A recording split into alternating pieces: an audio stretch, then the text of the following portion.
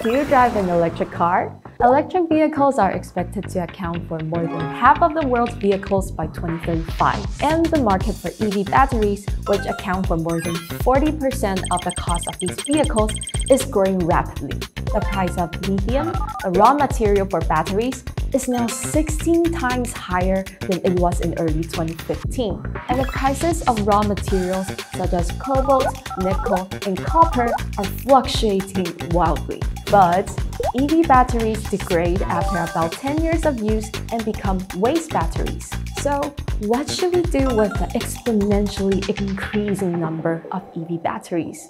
This is the story of SK ecoplant that is leading the way in the recycling of waste batteries.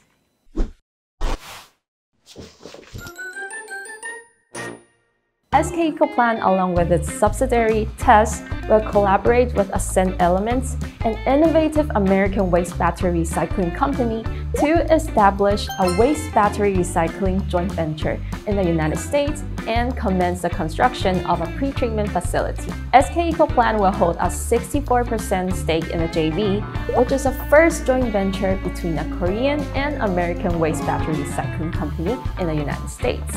Pretreatment is a process of physically and safely disassembling and shredding scrap, which means rejects or residues generated during the production of EV batteries and end-of-life batteries to create black mass, the core components of precursor batteries for recycling. Scheduled to be operational in 2025, the pretreatment facility will produce 12,000 tons of black mass each year, enough to make 100,000 new EV batteries. Isn't that amazing? Then why is the joint venture and pretreatment facility located in Kentucky?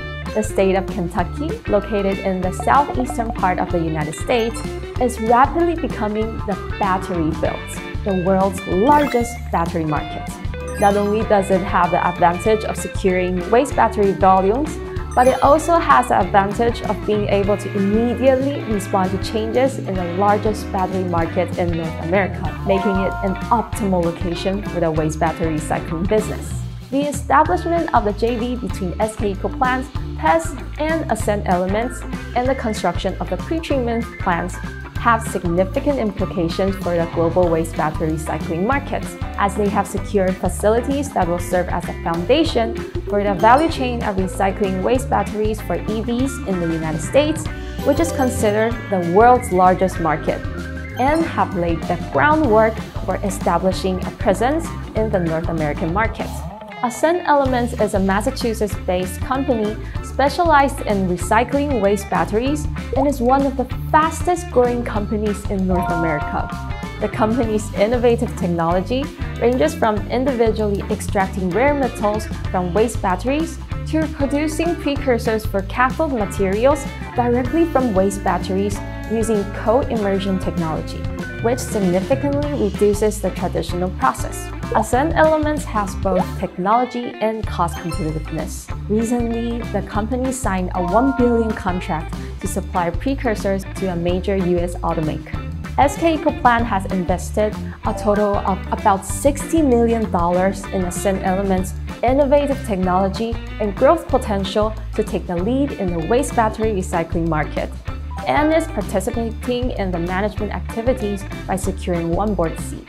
SK ecoplant secures waste battery and e-waste collection networks through 15 major locations in 23 countries, including key locations in the battery industry, to reduce dependence on imports from specific countries for core battery materials. Thanks to that, we are capable to rapidly respond to the US Inflation Reduction Act and the European Critical Materials Act, which significantly increase the proportion of domestic processing. With a global network, SK ecoplant will play an all-around role in the domestic and overseas waste battery recycling market, as well as serving as a key hub. That's over today's video. We look forward to your continued support and interest, and we'll see you next time.